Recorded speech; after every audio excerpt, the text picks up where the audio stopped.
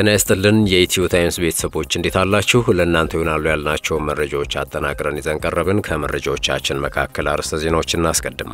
ዛሬ በባህር ዳር ከተማ በፌዴራል ፖሊሶችና በአማራ ክልል ፖሊሶች መካከል የተካረረ ነገር ነበር ተብሏል። ጉዳዩ ደግሞ ከአማራ ፋኖ አንድነት አመቻች አባላት ጋር የተያያዘ መሆኑ ተነግሯል። የባህር ዳር ሕዝብም አደባባይ በመውጣት ተቃውሞውን እያሰማ ነበር ነው የተባለው።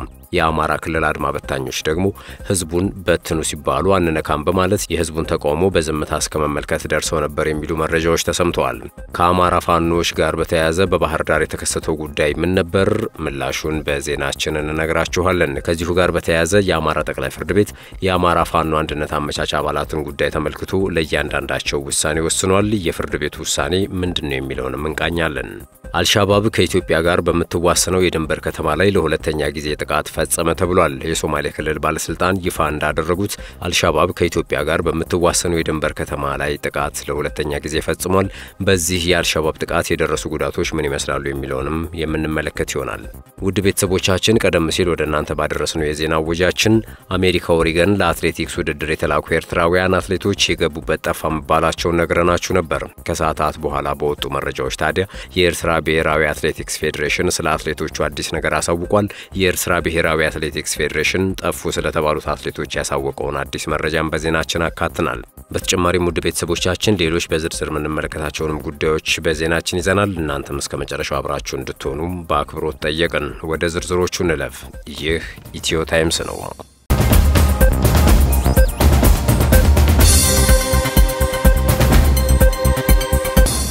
የ40 ሚሊዮን ብር ውድመት የደረሰበት የደብረ ሲና ሆስፒታል ሙሉ ለሙሉ አገልግሎት መስጠት ጀመረ። በሕዝብ እንደራሴዎች ምክር ቤት በሽብርተኝነት የተፈረጀው የትግራይ ሕዝብ ነጻ አውጪ ግንባር ትህነግ ወይንም ህወሓት በደብረ ሲና ከተማ በግለሰብ በመንግስት እንዲሁም በአገልግሎት ሰጪ ተቋማት ላይ ከፍተኛ ውድመት ማድረሱ ይታወሳል። በአሁኑ ወቅት ታዲያ የመልሶ ግንባታ ስራው በሙሉ አቅም እየተካሄደ ይገኛል ይላሉ የደብረ ሲና ከተማ አስተዳደር ምክትል ከንቲባ አቶ መክበብ ከበደ።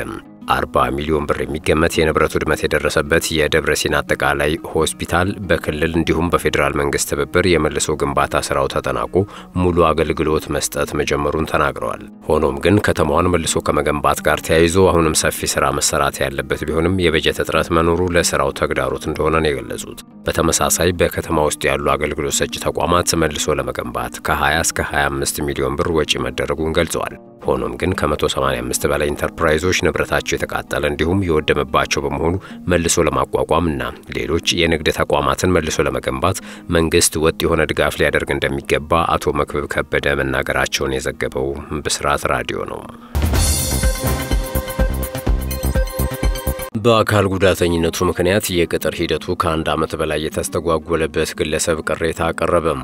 አንድ ደብዳቤ ለመጻፍ ከአንድ ዓመት በላይ ፈጅቷል ተብሏል። በወላይታ ዞን ዳሞት ወረዳ ነዋሪ የሆነው ኢያሱ ዴላባሊ በ2013 ዓ ም ሰኔ 26 በወረዳው የትምህርት ጽሕፈት ቤት ተቀጥሬ እንድሠራ የተወሰነልኝ ቢሆንም ላለፈው አንድ ዓመት ቅጥሩ ባለመፈጸሙ ለከፍተኛ ችግር ተዳርጌያለሁኝ ሲል ቅሬታውን አቅርቧል። በ2013 ዓ ም ወረዳው ለአካል ጉዳተኞች በልዩ ሁኔታ ቅጥር እንዲፈጸምላቸው በወሰነው መሠረት ከሌሎች ሁለት የአካል ጉዳተኛ ከሆኑ ግለሰቦች ጋር እንድንቀጠር ተወስኖ ነበር ሲል ይናገራል። ለዚህም ከወረዳው የፐብሊክ ሰርቪስ ቢሮ በተጻፈ ደብዳቤ ቅጥሩ እንዲፈጸም የተወሰነ ቢሆንም ለአንድ ዓመትና ከዚያ በላይ ለሆነ ጊዜ ያህል ቅጥሩ አለመፈጸሙን የገለጸው ኢያሱ በሁለቱም እግሮቹ ላይ ባለው የአካል ጉዳት እንደ ልብ መንቀሳቀስ እንደማይችል ሲናገር በዚህም ምክንያት የሥራ ቅጥሩ ሳይፈጸምልኝ ቀርቷል ብሏል። ከወረዳው ፐብሊክ ሰርቪስ ለትምህርት ጽሕፈት ቤቱ በተጻፈው ደብዳቤ ላይ እንደተጠቀሰው ለግለሰቡ አስፈላጊው ምደባ ተደርጎ ሥራ እንዲጀምር ይጠቁማል። በዚህም መሠረት በወረዳው የትምህርት ጽሕፈት ቤት በኩል በአንካ ጋሹ የመጀመሪያ ደረጃ ትምህርት ቤት ምደባ የተሰጠው ቢሆንም የቅጥር ሂደቱ በመሃል ተስተጓጉሎ ቆይቷል ሲል የዘገበው ብስራት ራዲዮ ነው። ጉዳዩን በሚመለከት የወረዳው የትምህርት ጽሕፈት ቤት የሰው ሀብት አስተዳደር ዳይሬክቶሬት ዳይሬክተር አቶ ዘውዴ ተካ የተጠየቁ ሲሆን እሳቸውም ጉዳዩን እንደሚያውቁት ተናግረው የቅጥር ሂደቱ የተስተጓጎለበት ምክንያት የወረዳው ፐብሊክ ሰርቪስ ለትምህርት ቢሮው የፋይናንስ ክፍል ከደሞዝ ጋር የተያያዙ ጉዳዮችን ለማስፈጸም ደብዳቤ ባለመጻፉ ነው ሲሉ ተናግረዋል። ይህም ሳይፈጸም ከቀረ ከአንድ ዓመት በላይ ሆኗል ሲል ቅሬታ አቅራቢው እያሱ ጨምሮ መናገሩን ነው ብስራት የዘገበው። ሆኖም የቅጥር ሁኔታው ላለፉት አንድ ዓመት ቢጓተትም አስፈላጊው የቅጥር ሂደቶች መጠናቀቃቸውን ግን ኃላፊው ገልጸዋል። በዚህም በቀጣይ የሥራ ቅጥሩን በሚመለከት ኃላፊው በራሳቸው እንደሚያስፈጽሙ መናገራቸው ነው የተዘገበው።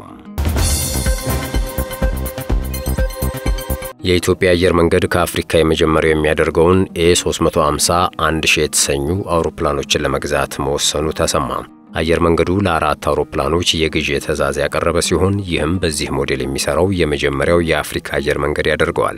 በፈረንጆቹ 2016 ሲገዙ በተመሳሳይ ከአፍሪካ ቀዳሚ ያደረጉትን A 35900 የተሰኙ አውሮፕላኖችን በአሁኑ ወቅት የሚጠቀመው አየር መንገዱ ይህንን ሞዴል ከፍ በማድረግም A 351 ሺህ የተሰኙ አውሮፕላኖችን ግዢ ለመፈጸም ትዕዛዝ ማቅረቡ ተሰምቷል። በአሁኑ ወቅት ከ121 በላይ መዳረሻዎች ያሉት የኢትዮጵያ አየር መንገድ ከሚጠቀማቸው አውሮፕላኖች ውስጥ 18 የሚሆኑት A 35900 የተሰኙ ሞዴሎች ናቸው።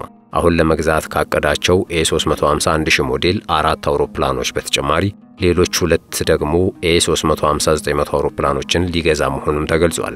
አዳዲሶቹ አውሮፕላኖች በዘርፉ የተሻለ ቴክኖሎጂን በመጠቀም ቀዳሚነታችንን እንድናጠናክር ይረዳናል ያሉት የኢትዮጵያ አየር መንገድ ዋና ሥራ አስፈጻሚ መስፍን ጣሰው ናቸው። በአፍሪካ አነስተኛ የነዳጅ ፍጆታና የተሻለ ቴክኖሎጂ ያላቸው አውሮፕላኖችን በመጠቀም ከፊት ተቀምጠናል ሲሉም አስታውቀዋል። በአምስት አህጉራት ለምናደርገው በረራም አዳዲሶቹ ሞዴል አውሮፕላኖች የደንበኞቻችንን እርካታ ከመጨመር አንጻር ከፍተኛ ጠቀሜታ ይኖራቸዋል ማለታቸው ተዘግቧል። ከኤርባስ ጋር በተደረገው የግዢ ስምምነት አውሮፕላኖቹ መቼ ለኢትዮጵያ አየር መንገድ እንደሚደርሱ ግን የተቀመጠ የጊዜ ገደብ የለም። አልሻባብ ከኢትዮጵያ ጋር በምትዋሰነው የሶማሌዋ የድንበር ከተማ ላይ ዛሬ ጠዋት ለሁለተኛ ጊዜ ጥቃት ፈጽሟል ተብሏል። በሌላ በኩል ደግሞ የአልሻባብ ከፍተኛ አመራር ወይንም ሁለተኛ ሲሆነው ግለሰብ ተገድሏል የሚል መረጃ ወጥቷል። አልሻባብ ከኢትዮጵያ ጋር በምትዋሰነው የሶማሌዋ የድንበር ከተማ አቶ ላይ ለሁለተኛ ጊዜ ዛሬ አርብ ሐምሌ 22 2014 ዓ ም ጠዋት ጥቃት መፈጸሙን አንድ ባለሥልጣን አረጋገጡ ሲል የዘገበው ቢቢሲ ነው። አልሻባብ ከአንድ ሳምንት በፊት በዚህችው የድንበር ከተማ ላይ ጥቃት ፈጽሞ ከኢትዮጵያ ሶማሌ ክልል ልዩ ኃይሎች ጋር መዋጋቱ ይታወሳል። ቡድኑ ዛሬ አርብ ጠዋት ለኢትዮጵያ ድንበር በቅርብ ርቀት ላይ በምትገኘው አቶ ላይ በሁለት ሳምንት ውስጥ ለሁለተኛ ጊዜ ጥቃት መሰንዘሩንና ውጊያ መካሄዱን ስማቸው እንዳይገለጽ የጠየቁ አንድ የሶማሌ ክልል ባለስልጣን ነገሩኝ ሲል ነው ቢቢሲ የዘገበው። ዛሬ ወደ አቶ ዘልቆ ጥቃት የመፈጸም ዓላማ የነበረው የአልሻባብ ታጣቂ ኃይል ያሰበው ሳይሳካ ሽንፈት እንዳጋጠመውም ነው ባለስልጣኑ ጨምሮ የተናገሩት። በግጭቱ በአካባቢው ተሰማርተው የነበሩ የጸጥታ ኃይሎችና በአልሻባብ ታጣቂዎች ላይ ጉዳት መድረሱን ያመለከቱት ባለስልጣኑም በአሁኑ ወቅት ዝርዝር ሁኔታው መናገር እንደማይችሉ ገልጸዋል። ባሳለፍነው ሳምንት ሐምሌ 13 2014 ዓ ም የሶማሊያው እስላማዊ ቡድን አልሻባብ ከኢትዮጵያ ጋር በሚዋሰኑበት የሶማሊያ ከተሞች አቶና የድ ላይ ጥቃት በመክፈት ከኢትዮጵያ ሶማሌ ክልል ልዩ ኃይል ጋር ከባድ ጦርነት ማድረጉ ይታወሳል። ከዚሁ የአሸባሪ ቡድኑ ጥቃት ጋር በተያያዘ የአሜሪካ የአፍሪካ ወታደራዊ ዕዝ ዋና አዛዥ ጄኔራል ስቲፈን ታውንሰንድ ለአሜሪካ ድምፅ ሲናገሩ ኢትዮጵያ ወደ ግዛቷ ዘልቆ የገባውን የአልሻባብ ኃይል ጥቃት መቀልበሷን ገልጸው ታጣቂው ቡድን ግን በቀጣዮቹ ወራት ተመሳሳይ ጥቃቶችን ሊፈጽም እንደሚችል አስጠንቅቀዋል። ይህን በአልሻባብ የተከፈተውን ጥቃት ለመከላከል ደግሞ ተጨማሪ የኢትዮጵያ ሀገር መከላከያ ሰራዊት ወደ ክልሉ መሰማራቱን የሶማሌ ክልል መንግስት አስታውቋል። ከዚሁ አልሻባብ ከፈጸመው ጥቃትና ኢትዮጵያ ካደረገችው መልሶ ጥቃት ጋር በተያያዘ እየወጡ ባሉ መረጃዎች ታዲያ የአልሻባብ ሁለተኛው ሰው ተገድሏል እየተባለ ነው። የሶማሌ ክልል ልዩ ኃይልና የሀገር መከላከያ ሰራዊት እንዲሁም የኢትዮጵያ አየር ኃይል በወሰዱት ማጥቃት ፎዋድ ሰንቆሌ የተባለው የአልሻባብ ከፍተኛ አመራር ተገድሏል ተብሏል። ይህ ፎዋድ ሰንቆሌ የተባለው የአልሻባብ ከፍተኛ አመራር ለአልሻባብ ሁለተኛው ሰው ነው የተባለው። በዓለም አትሌቲክስ ሻምፒዮና ለመሳተፍ ወደ አሜሪካ ኦሬገን ተጉዘው ጠፍተዋል ከተባሉ አምስት የኤርትራውያን አትሌቶች መካከል ሶስቱ ለውድድር ወደ ሌሎች ሀገራት መሄዳቸው ተነገረ።